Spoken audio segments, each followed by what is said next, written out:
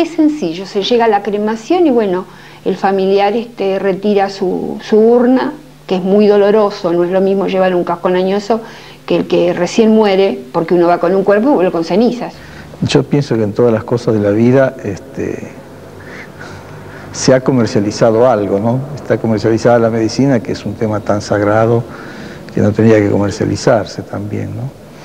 Así que también alrededor de la muerte tal vez hay un poco lo que se llama la industria, ¿no?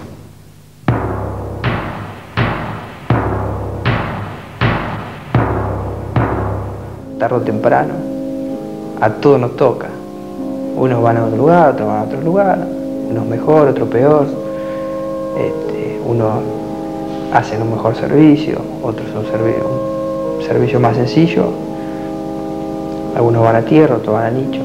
Unos van a un parque, otros este, quedan en el cementerio acá, otros se creman, ¿viste? Pero eh, todos tenemos el mismo fin. No, no, no, no, nosotros esto lo tenemos para vivir, sí, por supuesto. Eh, pero una industria no. Lo que rodea la muerte sí, eh, ojo, eh, que es este, la venta de cajones de muertos, velatorio, todas esas cosas, sí. Las flores también, las flores también, pero nosotros no agarramos tanto trabajo en palmas y coronas como para hacer una industria, viste, de esto.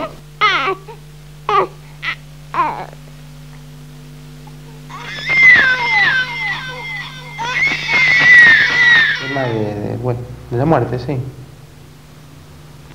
Fábrica de ataúdes, después mi padre con un tío puso una sociedad, una empresa fúnebre acá en La Plata. Y bueno, después, como todo negocio, después tuvo que cerrar. Gente de su especialidad, si es profesional, este, pregunta, ¿y fulano de tal dónde compró? Bueno, como hablamos de 12 categorías de parcelas, de acuerdo al lugar donde esté situada la parcela, es, es, el costo, el valor de la parcela.